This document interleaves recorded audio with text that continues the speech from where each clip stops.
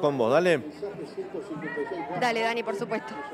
Bueno, super martes en el Congreso, super martes en la política, porque hay que agregarle la campaña de vacunas, que para el gobierno también es un hito político, sobre todo en esta parte del año donde necesitaba mostrarse eh, de alguna manera exitoso con alguna noticia positiva. Lo vamos a analizar con Jorge Liotti, esto editor de política del diario La Nación. Jorge, Daniel? bienvenido. Bueno, muchas gracias. Sí, claramente, y no es casualidad que los tres temas estén concentrados hoy, se definió originalmente lo que era la sesión del aborto, la fecha, después se unificó con la de la reforma jubilatoria que se está tratando desde el mediodía en la Cámara de Diputados, y también un poco se jugó con la fecha del inicio de la vacunación. ¿Te acordás que al principio se hablaba del lunes para empezar? Sí. Después terminó terminó siendo hoy martes y arrancó a nivel nacional. Claramente es parte de una apuesta del gobierno por tratar de cerrar el año con un conjunto de noticias para el gobierno favorable, que sería la sanción de las dos leyes y el inicio del proceso de vacunación, todas con forceps, ¿no? con, mucho,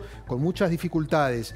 En el caso de la reforma jubilatoria se consiguió el quórum muy ajustadamente, van a tener los votos también muy ajustados, se supone que allí van a tener la contribución de los legisladores que responden en Córdoba al gobernador Juan Schiaretti y también de los legisladores misioneros, que se había generado un ruido allí porque vetaron del presupuesto la creación de una zona franja en Misiones, una zona franca, perdón, eh, y esto había puesto en duda, pero bueno, finalmente... Estaba muy enojado el gobernador de Misiones. El gobernador y los misioneros, porque Alberto Fernández había ido a Misiones, les, les había dicho que iba a salir eso, ¿no? Eh, después se aprobó en el presupuesto y lo vetaron. Eh, supuestamente porque otras provincias se quejaron. Bueno, lo concreto es que estaban en duda, pero parecería que van a terminar apoyando, con lo cual la reforma de las jubilaciones, que es un poco una nueva versión de aquel famoso proyecto que se aprobó en diciembre del 2017 bajo una lluvia de piedras en la Plaza de los Congresos, que fue realmente caótica esta nueva versión, ya un gobierno del kirchnerismo, eh, estaría siendo aprobada con un número ajustado. El aborto pasa lo mismo, vos lo decías recién, lo decía Jero, daría la impresión de que los números tal como están hoy, hay más o menos 34, 32, dos ausentes, cuatro indecisos, tendrían que irse la mayoría de los indecisos para los celestes para que se revierta, no parece un escenario demasiado realista. Las dos sesiones van a terminar muy tarde, en particular la del aborto se estima que puede ser entre las 7 y las 8 de la mañana, con lo cual las dos cosas están justas.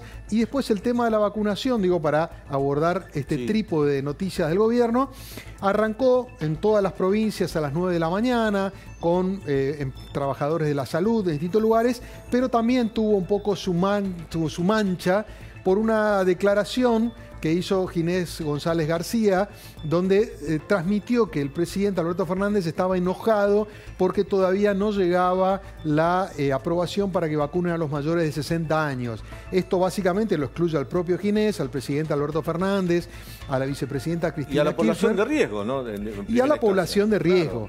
Y esto desde el punto de vista, es cierto la población de riesgo no estaba en esta primera fase, pero ellos imaginaban ellos dando un poco el gesto eh, simbólico de que se eh, ponían la vacuna, como por ejemplo hizo Kisilov esta mañana. Bueno, en parte este es el enojo que no terminó de plasmarse el primer día. Igualmente, el gobierno va a salir, obviamente, a tratar de capitalizar que cumplió con por lo menos esta parte, después tantas idas y venidas, promesas, fechas, dosis y demás, que por lo menos la vacuna, el, año termina con una primera etapa de vacunación. Por eso yo creo que lo que están buscando básicamente es que estas tres cosas cierren este círculo y que mañana, de cara al fin del año, el gobierno pueda decir, bueno, sacamos dos leyes muy importantes, una económica, otra que había sido una promesa histórica de Alberto Fernández, más el inicio de la vacunación, después de un año tan complicado donde el gobierno tuvo muy poco para festejar, bueno, algún logro. Ahora, ahora vamos a ver unos videos que eh, respecto a lo que venimos hablando, pero déjame decirte esto, Jorge.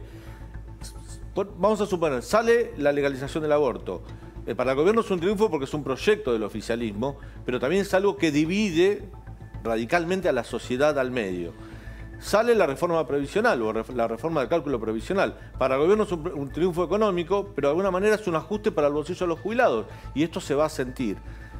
Tienen el plan de vacunación en marcha, comenzó hoy, con una vacuna polémica. Ahora vamos a ver un tape donde el propio ministro González García habla de la preocupación del presidente.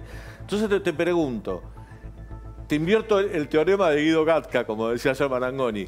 Está bien, pero no tan bien. Por eso te decía que los tres temas van con force ninguno de los tres se logra de la manera que quizás el oficialismo desearía. El tema del aborto es históricamente divisivo, de hecho fracasó hace dos años, con lo cual es un tema que yo te diría desde la mirada del gobierno lo que tiene es que es una promesa de Alberto Fernández, y esto lo remarco porque no es del conjunto del espacio, que conecta con su electorado urbano, más progresista, una clase media que tiene al aborto como un tema importante. Hay otros sectores del país y de la sociedad que no están tan identificados claramente, pero entiende que es una promesa cumplida a su electorado. Yo te diría que sería, en términos eh, egoístamente políticos, un triunfo de Alberto Fernández que sabemos que no le sobra, que en general sufre mucho más de lo que logra imponer, y en este caso te diría que hasta con una pequeña cuestión de vendetta, si esto sale como el gobierno cree, porque recordemos que Cristina Kirchner estuvo muy enojada en su momento porque se enteró por los medios y a través de Vilma Ibarra que se iba a tratar, que se iba a mandar este proyecto. Se venía conversando, se venía discutiendo, pero recordemos que ella venía frenándolo. Recordemos hace poco tiempo cuando una funcionaria de segundo nivel planteó la idea, ella mandó a frenar.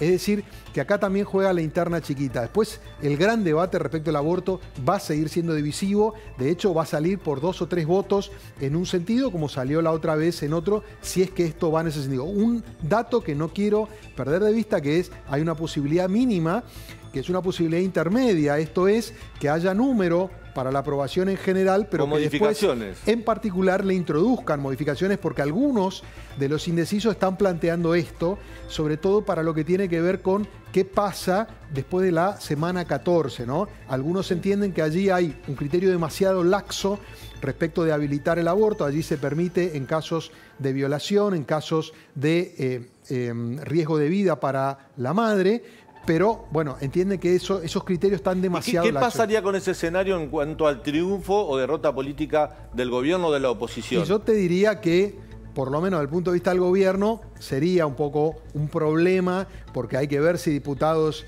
se vuelve a juntar, cuándo lo haría, o sea, supuestamente tienen los votos, pero vos viste cómo es esto, dentro de un mes o dos meses no sabemos en qué situación estamos. Sería un problema en ese aspecto. Por eso vuelvo a tu planteo todos son costos también, todo es forzoso. Lo de las jubilaciones siempre va a salir con dificultades. Recordemos la historia con Macri y las piedras, ¿no? Claro. Se aprobó y el costo fue infernal en ese sentido, desde el punto de vista político. Macri y el gobierno se desgastaron mucho un mes después de haber obtenido un gran triunfo electoral de medio término. Entonces, todas son eh, yo te diría victorias con mucho desgaste. Lo de la vacuna, ni contar. El desgaste ya viene de hace bastante tiempo.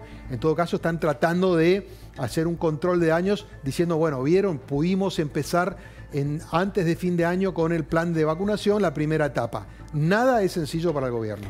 Jorge, gracias. ¿eh? Por favor. Bueno, eh, decía Jorge Liotti que uno de los temas en este supermercado